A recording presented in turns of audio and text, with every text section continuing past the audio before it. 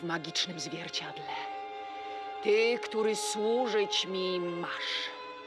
Przez wiatr, przez mrok, przybywaj wnet. Mów! I ukaż mi swą twarz.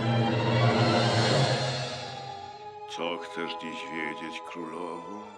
Me zwierciadło, powiedz przecie, kto jest najpiękniejszy w świecie? Wielce sławna twa uroda, pani. Jednakże klnę się na gwiazdy na niebie. Widzę dziewczę przecudnej urody. Niestety, piękniejsza jest od ciebie. Niestety dla niej. Zdrać jej imię.